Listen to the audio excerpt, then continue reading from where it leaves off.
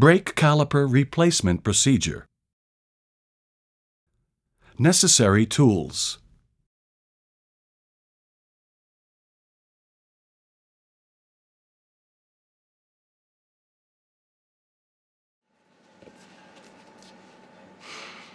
Remove the brake caliper from the bike using the 5mm hex wrench.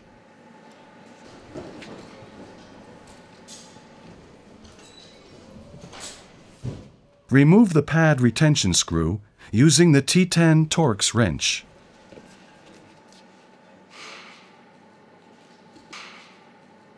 From the top of the brake caliper, grasp the brake pads and pad spring and pull outwards to remove them and set in a secure location. Remove the hose connect screw, hose fitting, and O-rings using the 8mm wrench.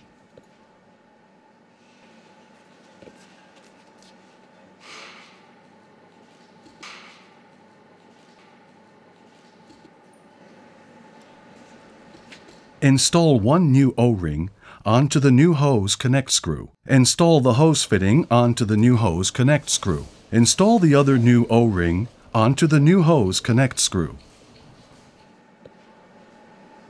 Install the assembly into the new brake caliper.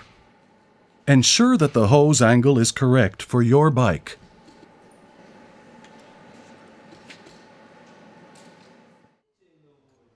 Tighten the hose connect screw to 6 to 7 nm using the torque wrench with the 8mm crow's foot socket.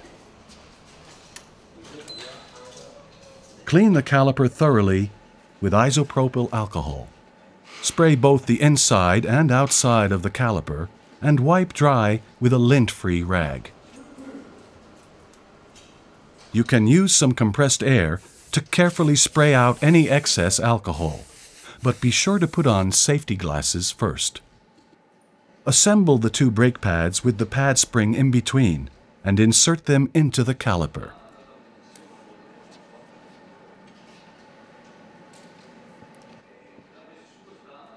Ensure that the holes line up.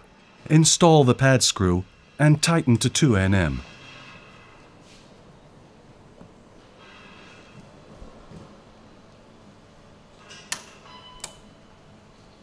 Install the spring clip and be sure it is seated correctly.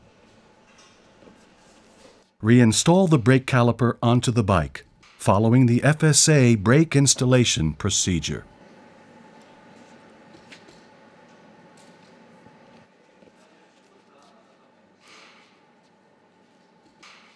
Bleed the brake following the FSA brake bleed procedure.